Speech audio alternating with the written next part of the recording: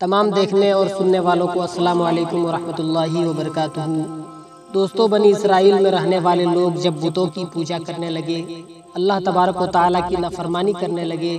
उस वक्त हज़रत मूसा सलाम ने उन लोगों को समझाया कि तुम लोग बुतों की पूजा करना छोड़ दो। ये तुम्हारा खुदा नहीं है। तुम्हारा खुदा वो है जिसने तुम्हें पैदा किया जिसने पूरी दुनिया को पैदा किया वो अकेला है और उसका कोई भी शरीक नहीं लेकिन उन लोगों ने हज़रत मूसा सलाम की बात को नहीं माना। तो गैब से आवाज़ आई, मैं तुम्हारा खुदा हूँ, मेरे सिवा तुम्हारा कोई मबूद नहीं। मैंने ही तुम लोगों को फ़िरौन के जुल्म से निजात देकर तुम लोगों को बचाया है। लिहाजा तुम लोग फ़कत मेरी ही इबादत करो और मेरे सिवा किसी को मत पूजो।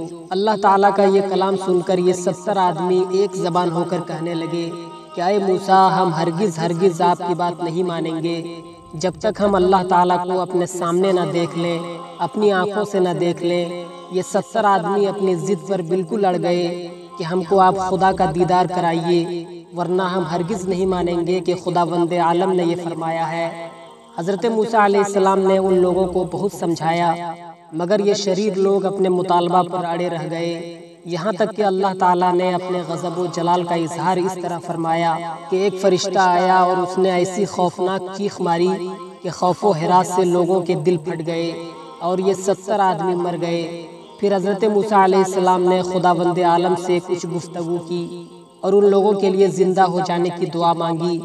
तो ये लोग दोबारा ज़िंदा हो गए। इस वाक़े को अल्लाह ताला ने कुरान मजीद में यूँ बयान फरमाया है और जब तुमने कहा अय मूसा, हम हरगिज तुम्हारा यकीन न लाएँगे, जब तक एलानिया खुदा को न देख लें तो तुम्हें कड़क ने आ लिया और तुम देख रहे थे। फिर मरे और फिर दोबारा हमने तुम्हें ज़िंदा किया, कि कहीं तुम एहसान मानो।